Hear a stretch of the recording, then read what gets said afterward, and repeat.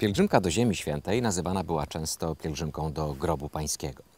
Rzeczywiście, grób pański, miejsce skąd Chrystus zmartwychwstał, to dla nas, chrześcijan, najświętsze miejsce na świecie, największa, można powiedzieć, relikwia.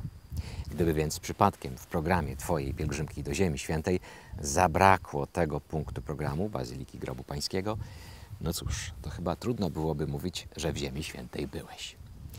Tym sposobem dochodzimy do drugiej porady, jak wygląda Twój program, program Twojego wyjazdu do Ziemi Świętej.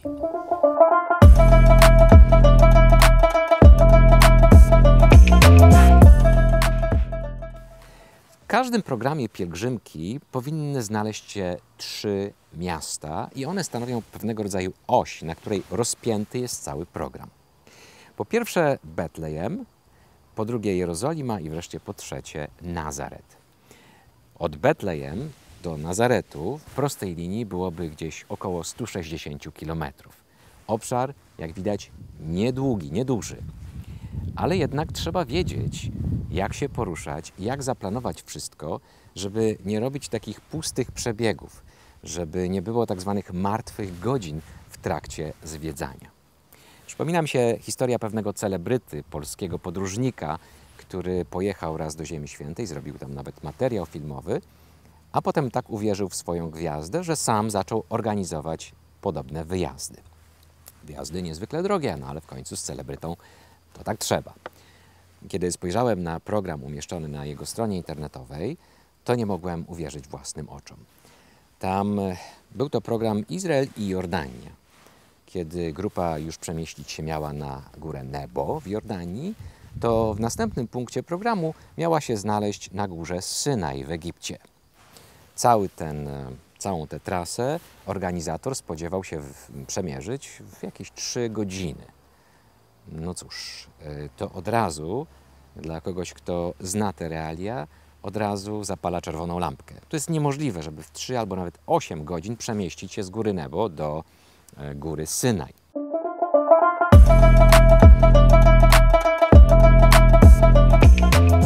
Skoro mowa o Jordanii, druga kwestia, o której wspomniałem, drugi czynnik, który organizator musi wziąć pod uwagę, to jest czas, w którym zaplanował zwiedzanie tych wszystkich rzeczy do zwiedzenia w Ziemi Świętej.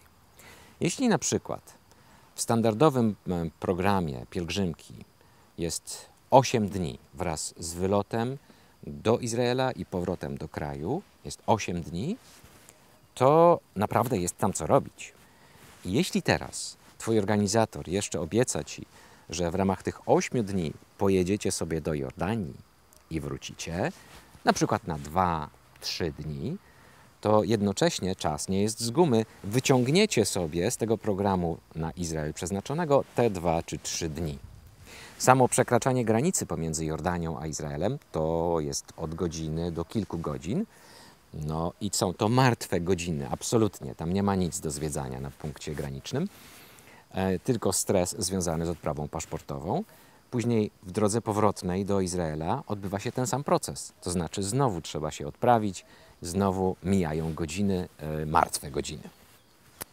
W ciągu ośmiu dni, a brzmi to dobrze, brzmi nieźle, że można zobaczyć dwa kraje, Izrael i Jordanię, ale bądźmy pewni, że wtedy zrobicie wszystko po łebkach.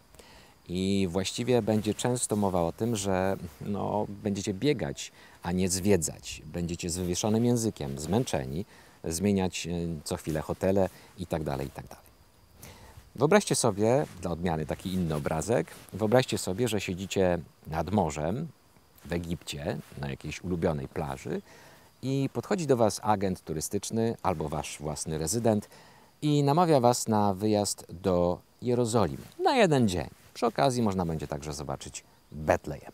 Brzmi super. Będzie się można pochwalić znajomym, teściom, żeśmy byli w Izraelu również, w czasie tego pobytu nad morzem w kurorcie egipskim. Dobrze, godzicie się i jeszcze tego samego wieczoru wsiadacie do autobusu, żeby całą noc jechać do Jerozolimy. Nad ranem, niewyspani, ale szczęśliwi, stajecie na Górze Oliwnej i patrzycie na przepiękną panoramę na Jerozolimę. Hmm, jakaż radość. Ale teraz przewodnik bierze Was do galopu, bo ma w programie kilka punktów, co do których zobowiązał się, że Wam je pokaże i ma do dyspozycji 8 do 12 godzin maksymalnie. Po drodze jeszcze trzeba coś zjeść. No więc biegniecie od jednego punktu do drugiego i z wywieszonym językiem, kiedy jest już późne popołudnie, jeszcze trzeba zaliczyć Betlejem. Jedziecie do Betlejem, wracacie do punktu zbiórki, wsiadacie do autobusu, wracacie do wspomnianego kurortu i co? Jest szczęście? No raczej. Tyle zaliczonych miejsc. No właśnie, zaliczonych, bo trudno to nazwać pielgrzymką czy duchową ucztą nawet. To było po prostu klasyczne zaliczanie. Czy dlatego, że przewodnik czy organizator nie znał realiów Ziemi Świętej? Znał. Tylko po prostu zaproponował Wam coś, co do realiów czego Wy nie byliście zaznajomieni.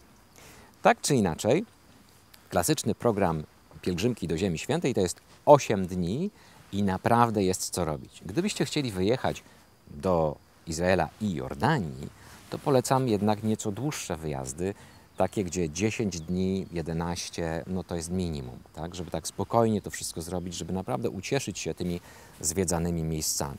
Jeżeli macie zamiar zobaczyć Izrael i Jordanię, to to jest 10-11 dni minimum. Wtedy naprawdę wszystko ładnie się układa i brakuje, i nie, znaczy brakuje, no na szczęście, brakuje wówczas zmęczenia. Zmęczenie tak czy inaczej Was dopadnie, to nie ma dwóch zdań.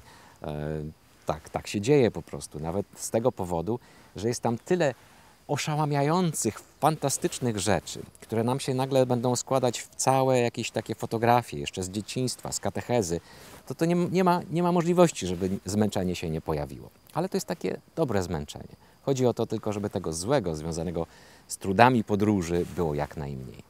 I tutaj kolejny wątek.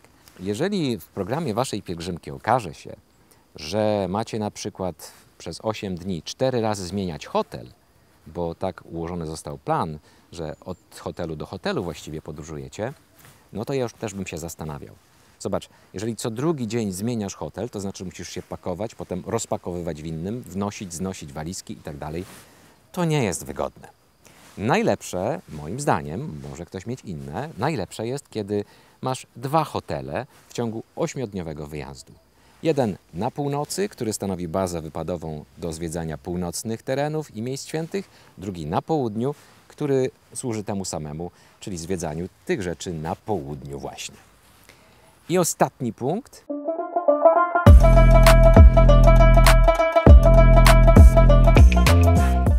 który jest bardzo ciekawy, są dwie szkoły, gdy chodzi o ułożenie planu zwiedzania Ziemi Świętej. Niektórzy zaczynają z północy, inni z południa. Ja należę do tych pierwszych. To jest, nazwijmy, szkoła otwocka. My zaczynamy z północy, to znaczy zaraz z lotniska Ben Guriona jedziemy na północ do Galilei i tam w jednym z hoteli, na przykład w Tyberiadzie albo w Nazarecie się rozlokowujemy i ten hotel na pierwszą część naszego pobytu w Ziemi Świętej stanowi naszą bazę wypadową. Stamtąd jeździmy i zwiedzamy to wszystko, co zaplanowane, w, e, gdy chodzi o Galileę. Kiedy już zwiedzimy Galileę, wówczas udajemy się na południe, do jednego z hoteli na południu, najczęściej do Betlejem i tam rozlokowujemy się na czas pozostały do, do wyjazdu. W ten sposób z tamtego miejsca na południu, no, w tym hotelu betlejemskim na przykład, Zwiedzamy wszystko, co w okolicy, łącznie z Morzem Martwym, z Jerychem, no oczywiście Betlejem też i Jerozolimą. To naprawdę, to naprawdę działa, jest naprawdę fajne. Ale e, niektórzy wybierają na przykład podróż od Betlejem na północ. Od Betlejem na północ, czyli najpierw zobaczą Betlejem, a później zobaczą e, w drugiej części swojej pielgrzymki, będą się rozlokowywać w jakimś hotelu na północy i tam po prostu zwiedzać Galileę.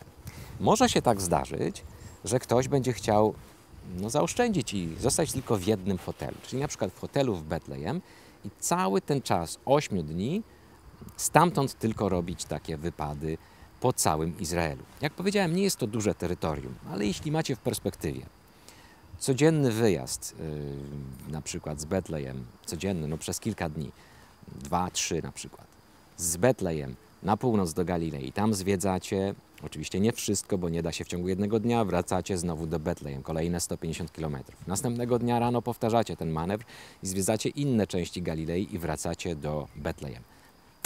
Jest to karkołomne? Moim zdaniem jest. Ale może są tacy, którzy tak lubią. Nie ma problemu.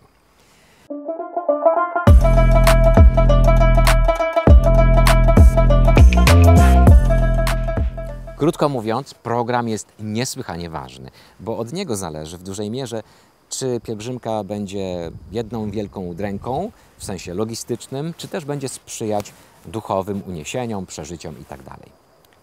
Zapytaj więc swojego organizatora albo sam sprawdź na mapie, czy trasa, którą zaplanował w programie, jest logiczna, czy nie ma tam czasem martwych przejazdów. Zapytaj, ile będzie hoteli, w ilu hotelach zamieszkacie w ciągu tych 8 dni na przykład. Zapytaj albo sam zobacz, jak rozłożone są akcenty. Czy macie jeden hotel, z którego jeździcie po całej Ziemi Świętej, czy na przykład dwa hotele, y, które służą za, za bazy wypadowe na północy i na południu. W jaki sposób ułożona jest całość? Czy nie zabrakło w programie e, wspomnianych trzech miejscowości? Betlejem, Jerozolimy i Nazaretu i odpowiednio trzech bazylik Narodzenia Pańskiego, Grobu Pańskiego i Zwiastowania Pańskiego. Jeśli tak, nie ma się czego obawiać, trzeba się wybierać. Życzę dobrych i mądrych wyborów. Ksiądz Dariusz Iwański, przewodnik po Ziemi Świętej. Pozdrawiam.